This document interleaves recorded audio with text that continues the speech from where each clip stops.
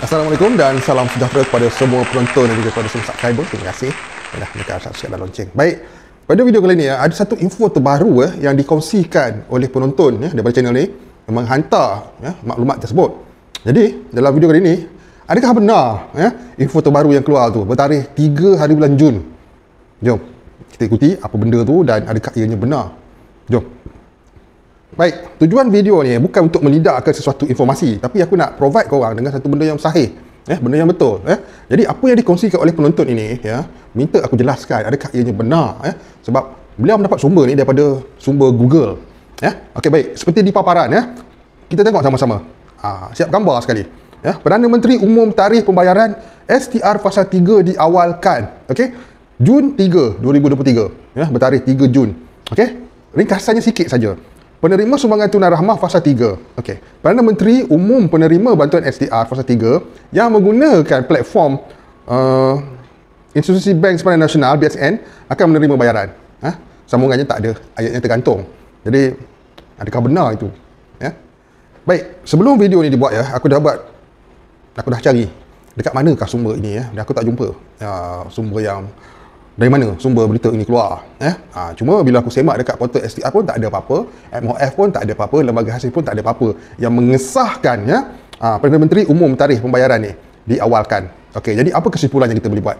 Okey kesimpulan yang kita boleh buat ialah ya macam aku cakap sebelum ni dalam video yang terdahulu tentang STR aku pernah cakap ya berkemungkinan besar ianya akan diawalkan untuk sambutan Aidilfitri kerajaan Madani harus melakukan ni Eh? Ha, tapi bukan aku mengesahkan benda itu confirm. Eh? Kerana apa-apa hal pun, kita kena tunggu pengumuman bahawa kita akan dapat sesuatu yang sahih tentang info bantuan ini. Ha, jadi seperti apa yang uh, tersebar ini, ya, sebelum ianya pergi lebih jauh, kita kena faham. Ya?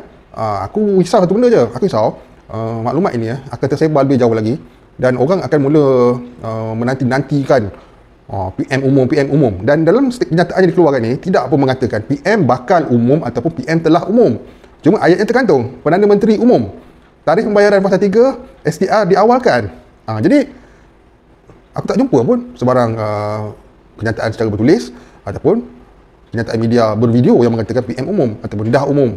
Ha, Jadi kesimpulan dia Apa yang minta aku Sharekan dalam video ni Ialah satu benda yang belum pasti lagi ya, Tapi ianya berkemungkinan sangat besar diawalkan. Ha, Kita kena faham tu ya. Berkemungkinan maksudnya Berpotensi untuk diluluskan Atas sebab-sebab yang sangat munasabah ya sambutan Aidil Adha yang merupakan sambutan besar. Ha, okay, tapi kalau nak kita nak kata PM dah umum, PM belum umum lagi. Ha, aku dah cari dah tak jumpa PM belum umum lagi. Ya, ha, jadi aku rasa uh, berita yang tersebar daripada Google ini pasti akan tersebar pada anda semua. Ya, sebab Google kot kan semua phone menggunakan Google account. Ya, jadi secara tak langsung benda ni akan ada dalam newsfeed korang. Ya. Ha, jadi ambil maklum ya, PM belum umum lagi. Ha, kalau PM dah umum, dia akan jadi berita sahih. Ya, ha, kena faham tu. Ya. Jadi inilah satu kenyataan yang belum betul lagi 100%. Ha, tapi kalau ia nak dilakukan, ianya baguslah. Ha, kan? Tadi, ha, kita nak kata apa? Kalau betul benda tu diawalkan, Alhamdulillah lah, baguslah. Eloklah, kan? Syabas lah untuk semua yang menerimanya.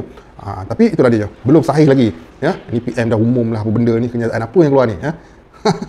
Ambil maklum semua ya. PM belum umum lagi. Ha, tapi berkemungkinan ianya akan diawalkan. Ya? Ha, kalau PM dah umum tu tak ada dah keluar berkemungkinan dia akan jadi info sahih lah pula kan? Ha, ada beza kat situ. Ok harap semua jelas semua faham penerangan yang aku beri ni dan sekiranya ada terjumpa keratan ataupun uh, artikel yang sama ha, ada lah apa yang aku cakap ni. Jangan percaya bulat-bulat dulu ya, sebab tak ada. Aku dah cari. Tak ada uh, PM dah umum ya, PM belum umum lagi.